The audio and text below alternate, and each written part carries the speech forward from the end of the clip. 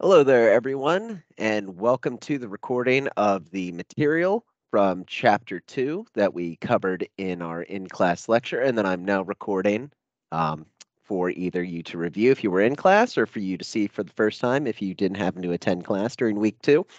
Um, as the title indicates, this material is eligible for inclusion in your examination. So if you have any questions about the material being covered here, um, you can always send me an email and ask me to provide some additional clarification. if you weren't in class, I also recommend you potentially reaching out to your peers to just get a little bit more of an understanding about how we talked about this material in class, just to more help you fully understand the material rather than the idea that, you know, if you didn't hear this in class, you're disadvantaged because that is not the intention. So where did this material fit in during class? Well, we had just finished talking about the rhetoric of claims. We had talked about what grounds are. We had talked about what warrants are, and we had talked about what conclusions were. Now, the way I introduced this additional material is highlighting that if you are identifying a social problem, you've gone through, you've establish the grounds for claiming that something is a social problem. You have your warrant, which establishes why something needs to be done about the problem. And then finally, you would have your conclusion, which outlines how you would address the problem. I am now introducing uh, formally the concept of social structure at this point to highlight the following. If you have identified a social problem, that social problem likely exists due to existing systems of inequality, existing social structures, enduring patterns that, while they are made up of the actions of individuals, are not entirely dependent upon a single individual. You are born into a society in which these structures already exist, and therefore they are having a continuous impact on you and your life and the way you think about things and the way you act, whether you realize it or not. That's why the study of sociology and the study of social problems in particular is what I call the study of sneaky bullshit. And that's because you have things like social structures which impact social life and the life of the individual, but they're not obvious. So that's why we're taking some time now to outline briefly what social structures are. Now, I've mentioned before in a past uh, in person lecture the idea that social structures are things that are very hard to perfectly define within sociology because they're such a key foundational concept that within each subdiscipline of sociology and of social science, there are slight permutations of the definition to best fit the needs of that specific subdiscipline. So while I've tried to go ahead and provide an outline of what social structures are in a more general fashion, I also want to acknowledge that this framing of social structures comes from a structural symbolic interactionist frame. So just like with any presentation of material, any formulation of ideas, there is some degree of intellectual bias. And by that I mean if you work within a paradigm or framework, you are often operating under the principles of that framework, which then tends to emphasize certain elements of society and not directly examine others as closely. So with that all out of the way, let's talk about social structure and some things that I wanted to use to indicate what a social structure is. So what is a social structure? One thing that identifies whether something is a social structure. I'm actually, first, I'm going to skip to point two, which is what I did in class. What are social structures in the most abstract? Social structures are things that result in detectable social patterns. To a degree, you could argue that these social patterns are, in effect, um, a social structure, or at least a component of social structure. So, what do I mean by social patterns? Whenever you take even a casual look out your window, you don't even have to do this with research, you can tell that there are systematic patterns of behavior, of interaction, and of distribution of resources. How can we tell this just by looking out the window? If you look out the window right now, or you're walking down the Esplanade, Esplanade campus, or let's say you're sitting in the student center and you're eating lunch, right? It is not impossible, but it is highly, highly, highly improbable to the point of being, you know, a little bit absurd. The idea that as everyone is in there, you know, talking, eating lunch in the student center hub, we have someone who comes through uh, wearing nothing but their undergarments, doing cartwheels down the center aisle of the student center Do people have the agency to do this? Absolutely, they do. The, any individual in that student center could be the person who, you know, strips down to their undergarments and then decides to try and cartwheel through the place. it's possible, right? It's within the realm of possible things, but it is not within the realm of probable things right? If you go to the student center every day for the next five years, you will not see, unless you decide to do it yourself to spite me, you will not find someone in their undergarments doing cartwheels down the main uh, thoroughfare of the student center. So this indicates that there is a detectable pattern in social life. That pattern being people are eating in the student center, they are talking in the student center, and they're also not doing cartwheels in their undergarments. These patterns, because they are patterns, they don't just arise because they exist. Sociology considers that view of society anathema to good science. We don't just say that things exist because they exist. We accept that if there are patterns, there are underlying reasons for those patterns.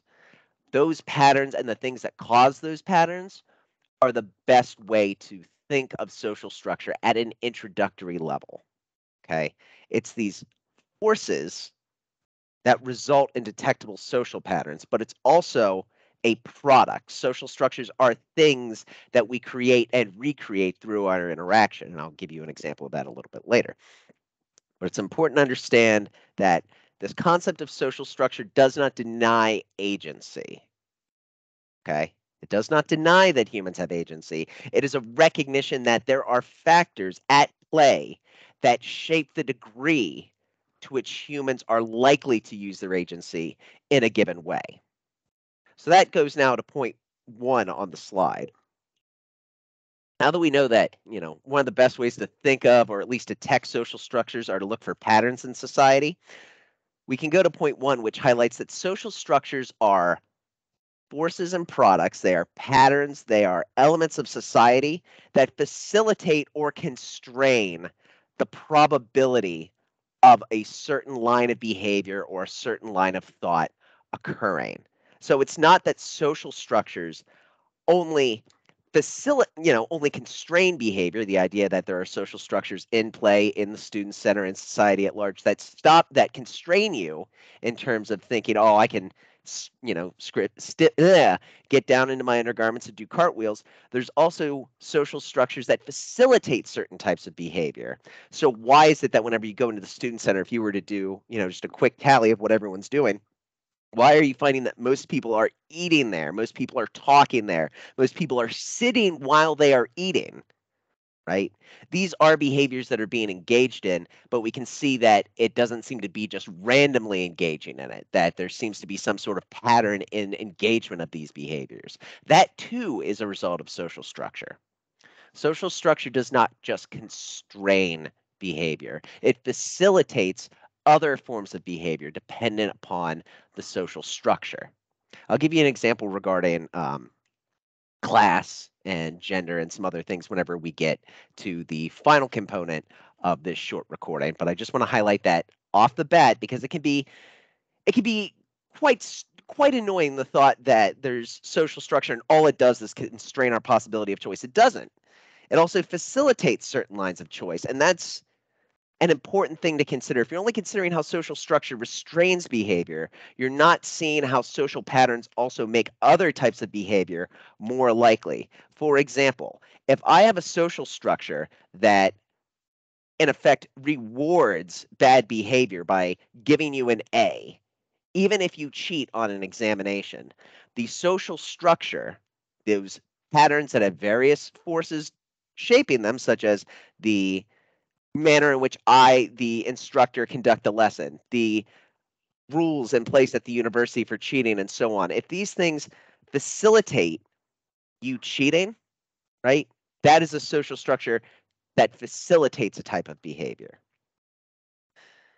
Final thing that I want to reemphasize from this is point three on the slide, which is that social structure is both a social process slash force as well as a social product. That is to say, these elements of society that result in detectable social patterns are both forces in that they impact something, they shape social life, but they're also products. They are the product of the actions of individuals. So these so say the social structure that constrains your desire to cheat. So the idea that uh, the university has policies in place like zero tolerance for plagiarism. You plagiarize, and they're going to suspend you from the university. Like there, there's clearly rules in place that indicate we are not joking around if you get caught cheating. Those rules came about because individuals in interactions in groups chose to implement that system. Now, social structures differ into the degree to which you're, you know, aware of the fact that you're shaping a social structure, whether you're doing it consciously or unconsciously. But the point is that this structure doesn't just exist because it happens in nature, because it's an immutable law of humanity. It is something that is created and recreated by humans. Now, just because something is created by humans doesn't mean that we can all just, you know, shut our eyes and the power of it disappears, right? Um, just because something is a social construct doesn't mean it's not real in the social sense. If it has an effect on individuals and individuals act towards something as though it's real, it is real in its effect is the idea. I'm treating it as a social individual as real and I'm acting accordingly. And that in the social sphere makes it real.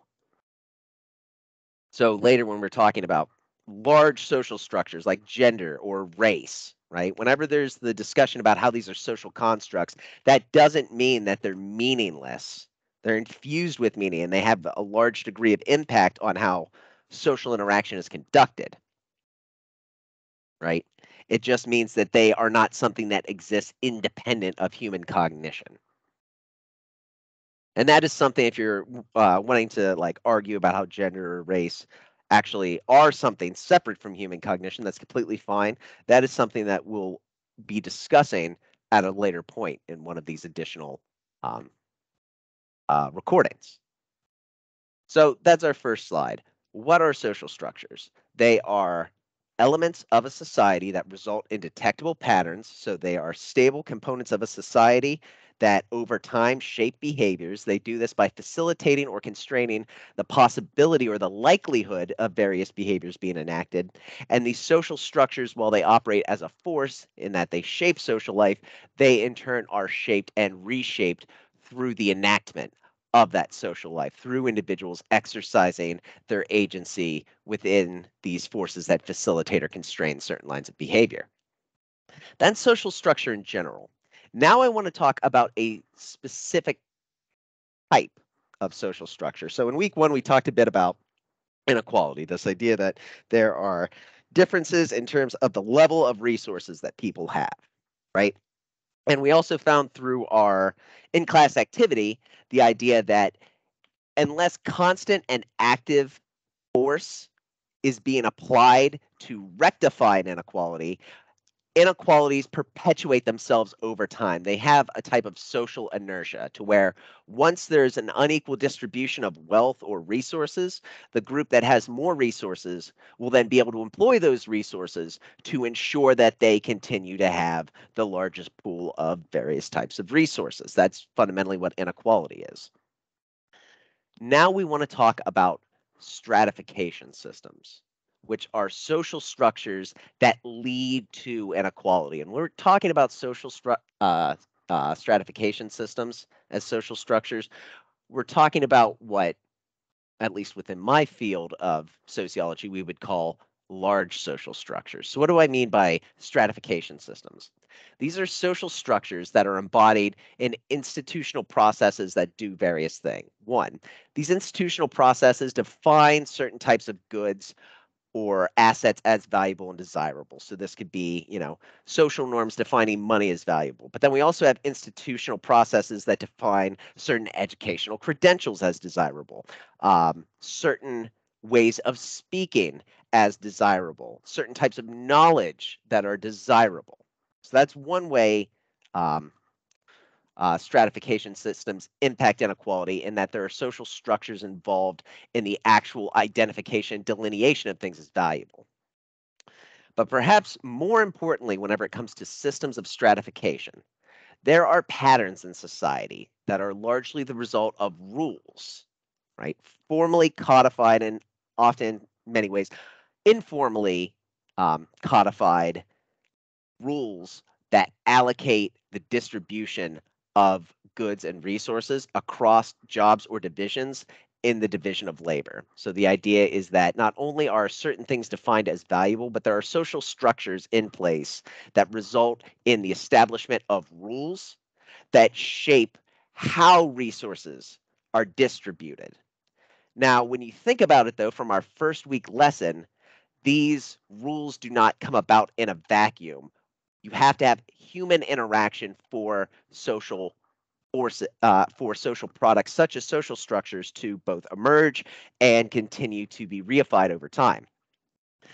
So in that light, it's not surprising that those who already have resources are the ones who are able to best influence the formulation of the rules for allocating resources. And unsurprisingly, those who have resources are not going to disadvantage themselves when it comes to the creating of rules that delineate how resources will be distributed. It, like this could be something as simple as capitalism, right? It's the idea that you do work, you get paid an hourly wage.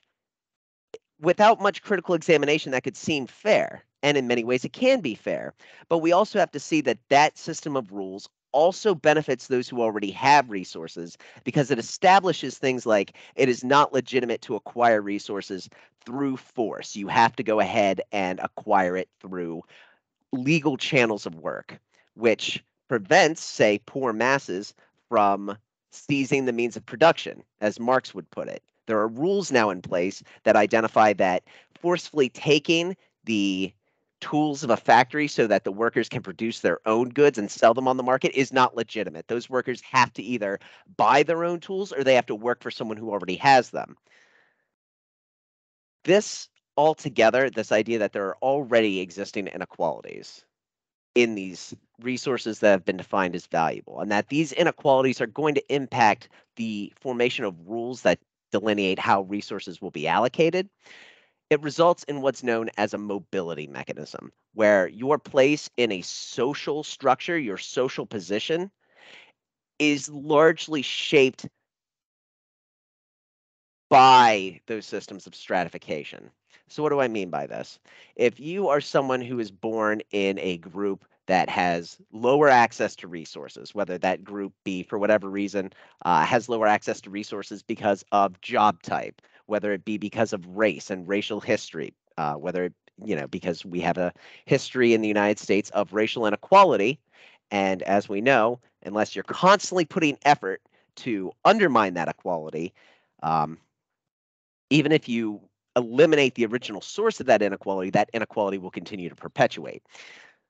Uh, we have this also in gender. We, uh, for the longest time, had a formal system of inequality that removed or uh, restricted women's ability to do things like acquire educational credentials, credentials or political resources by running for office. And even though that formally was rectified by removing those barriers through a constitutional amendment, because those inequalities still existed and there wasn't a constant continual input of resources to undermine that equality, that stratification in terms of gender inequality remains. So what happens whenever you are born into a stratification system and you're born into the group that has structurally less resources than another group? you are less likely to be able to climb the social hierarchy and gain additional resources because of the position you were born into. The resources of the group that you were born into contributes to the formative experiences that you have over time, the assets and resources that you're able to make that you have available to you as you grow up, and this in turn shapes your uh, the probability of your outcomes in terms of acquiring these valuable resources. So this is a mobility mechanism. It links individuals to social positions, is often in the form of jobs, and this generates unequal control over valued resources. So if you are born in a poor or working class rural household, you're going to be exposed to um, meanings that are that are taught in these kind of households, such as various types of work ethic, ideas about keeping your head down and just doing your work, right? These sort of learned meanings will impact the type of job you're likely to acquire. And that type of job you acquire is going to determine the resources you have. And you're less likely to get a high paying job using the skills you learned in that low status, low power group of poor working class than you are if you were the son of a Wall Street investment banker who, growing up, you would have picked up little tips and tricks on how to make yourself successful in the business world, which will likely result in you getting a very high paying job and making more money than the son of a poor working class family member. This doesn't mean that it is impossible for you to change your social position from the, you know, the uh, group that you were born into right? It doesn't deny that. We are accepting that humans have agency. What this is doing is acknowledging that this pattern exists. That if you are born into a low class group, you have a lower likelihood of being in a high value job relative to someone who was born into a high class group. Doesn't mean that's impossible for you, the individual, to, but it means whenever we look at a society, this pattern is there and we can empirically determine that it is there. This is not me using rhetoric to say this is what I believe. This is empirically documented that there are these patterned inequalities. Stratification systems lead to these patterned inequalities because they result in groups having different access not only to resources, but the ability to acquire new resources and shape the rules by which resources are acquired. And this is what helps perpetuate this continued unequal distribution of resources.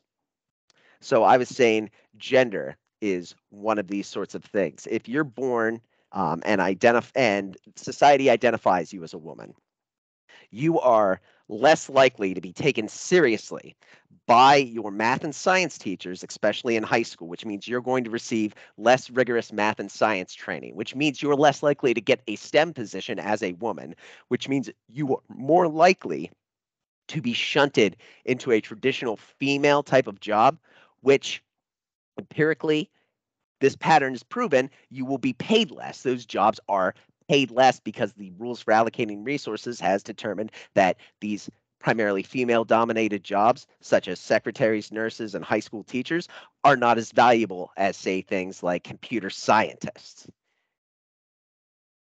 So this gets into this idea next slide, that there are different type, different levels of social structure. Okay, and this is also important because it's not just that there's this amorphous classification system. There are various levels to which these patterns shape our lives. so again, I'm drawing from a number of fields of sociology to try and give you a very base overview of what social structure is. So in some ways, I'm simplifying some things and I'm omitting some other very nuanced um, components of this discussion. So if you're interested in this, please reach out to me and I'd be happy to talk about this concept more. The final uh, slide that actually has detailed information on it that might be relevant to your exam is this idea that within social psychology, we have what are known as macro and micro structures. And this is how, you know, within social psychology and specifically within my field of structural symbolic interactionism, this is how we sort of think about these levels of social structure. So macro structures are social structures. They're forces that result in pattern behaviors that impact the proximate context individuals find themselves in. And this is often stratification systems, right? Because your location within a stratification system, the economic class you're born into, the gender that society assigns to you, the race that has been, you know, is socially assigned to you, these shape what kind of context you find yourself in. So let's go with race as an example. We know that due to uh, you know continue reifying economic inequalities, that if you are black, you are likely to find yourself going to a high school school district that is predominantly black. So the social structure, the stratification system that you found yourself in, and your position within the racial stratification system because we do find that there are structural inequalities in terms of resources by race. This shapes who you come into contact with on a daily basis. It shapes the proportion of the student body who's also black.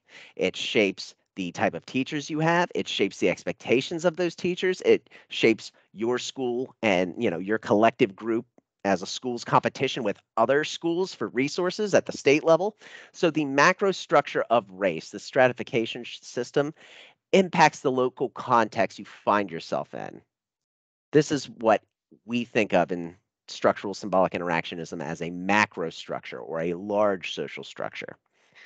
Now, moving down from these society spanning systems of stratification, we have what are called proximate contexts, right? And I was trying to outline that earlier that these proximate contexts, these proximate structures, sometimes called mesostructures, are the conditions in which actual behavior occurs. So the gender composition of your classroom, the racial composition of your classroom is a proximate context, is a mesostructure. And we find that these proximate structures, the you know, the composition of your proximate conditions impact how you think and how you behave. For example, if you're in a classroom in which you are uh, a white student and the majority of the students in the room are black students, even with that, because of larger societal uh, systems of expectations, you will find yourself being taken more seriously in certain academic pursuits.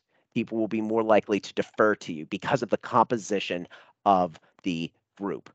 Another example, if you are a female and you find yourself in a group uh, with other ma- with males and you're focused on a STEM related task, you are likely to be taken less seriously by your peers in that task group compared to your male colleagues. But the fact that you were in a group that was focused on STEM activities and that you were with male colleagues these proximate conditions are shaped by larger systems of stratification. So these are mesostructures. Now, it'd be really easy to leave it there. And to a degree, some studies in sociology do leave it there, this connection between macro and proximate structures, right? But there's one more level that I really want you to consider, and it's this idea of micro social structures. And in this context, especially for this class, we're defining micro social structures as those mental schema, those mental frameworks and psychological processes that shape how you think about yourself, how you think about others, and how you therefore subsequently behave, because we act upon the way we think about a situation, how we perceive ourselves, how we perceive our environment. Microstructures are what shape these processes. So, for example, whenever I am, whenever we're in a classroom, right? Anyone could get up and start screaming or could get up and just, you know, start talking to someone next to them. But largely this doesn't happen. Why? Because the students have internalized that they're being recognized, like everyone sees them as a student in this classroom, which means they see themselves as a student. And they see me as a teacher and they recognize others see me as a teacher. And in so doing, recognizing that they occupy this position of student and I occupy a position of teacher, they understand that there are certain meanings and therefore expectations for behavior in this situation. And they conform to these expectations for a variety of reasons to, to uh, be verified, to avoid punishment. But the idea is that it's not just who's around them, it's the fact that they're operating on internalized structured understandings of a situation. And that shaping of the thought process that has been internalized by the individual, that results in given lines of behavior. So in the example of the classroom, your internalized understanding of what it means to be a student, especially relative to a teacher, constrains certain lines of action. You're not going to get up and start uh, screaming and it facilitates other lines of interaction, such as if I was talking to you, you'd probably look at me and start nodding your head to indicate that you understood. This internalized set of expectations are microstructures. So here's a visualization of kind of how you can think of these things being related. You have macro structures, these society spanning systems of stratification. these result in your placement within proximate contexts which bring up microstructures and also teach you microstructures. So if I was born in a low class, if I was born in a poor household, that's going to shape my proximate context in terms of my house household life, which will also involve me learning um, certain expectations for behavior. I uh, am socialized with these microstructures. And because of this, in any given situation, there are certain lines of behavior that are more or less likely. For example, we find in studies of uh, child raising that in working in poor class households, uh, children become less likely to ask questions whenever given a directive by a parent because it's they've been socialized to understand that you respond to an order, you don't question an order. In um, middle class, upper middle class, and upper class households, we find that children will actually ask questions of directives in part because parents respond to these questions by helping the child work through the thought process. They have now internalized a microstructure of thinking about a situation, partially because of the proximate context the individual is in. And over time, this leads to a set of probabilities regarding various outcome behaviors, such as asking questions when receiving a directive. If we're looking at gender, we have things like okay, so you've been so you have been placed in the stratification system of gender. Whenever you go into the proximate context of work, there are certain expectations of competency that um, have been internalized by you and other individuals in the situation. And this likely results in you, if you're a female, being taken less seriously at work, and therefore you're less likely to volunteer information at work. How does this get into the idea that structures are a product as well as a process? The idea is if you are not as forthcoming with information at work because you have been socialized and your proximate contexts have taught you that you know you really won't be taken seriously it's safer to just say nothing you're not going to be elevated in status as quickly you're not going to get promoted as quickly which then reifies this existing structural stratification of resources in terms of um, the rewards you get for various job positions. So this is what in this course, uh, this is how we'll be thinking of social structure. So thank you all for following along. If you have any questions about this video, please just reach out to me and I'd be happy to talk to you about it. As uh, indicated in the title and the folder this is placed in, this material will be eligible uh, for being covered in your examination. And I guarantee you at least something from this video will be on at least your first examination. So please take some time to really consider the points we've talked about today. And thank you for your attention.